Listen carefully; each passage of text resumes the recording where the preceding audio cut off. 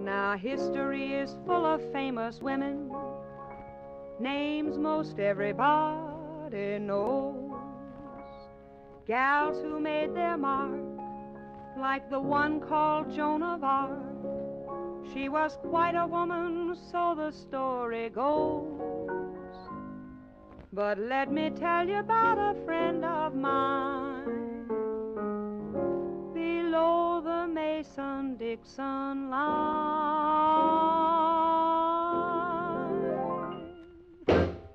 She was known throughout her teens as the maid of New Orleans till the sheriff chased her poor old Mo and Pa.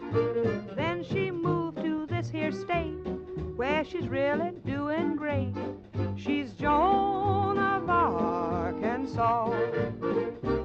Joan of Arc, she'd done her chores, then rode off to fight some wars. She was either pitching spears or pitching straw. Now my friend's a pitcher too, but she's mostly pitching woo. She's Joan of Arc and Arkansas. Well, now Joan of Arc, she had a great big army. To fight for France, she led a thousand men.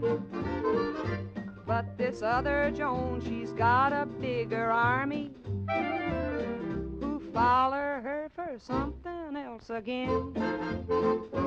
All the gals are up a tree, they're as jealous as can be. And I understand they tried to pass a law.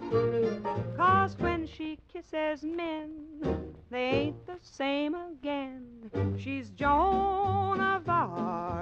Arkansas.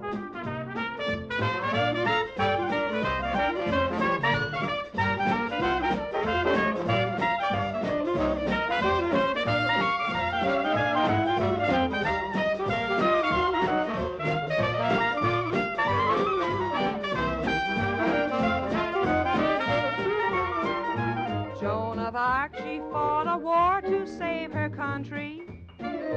She was mighty patriotic, I declare.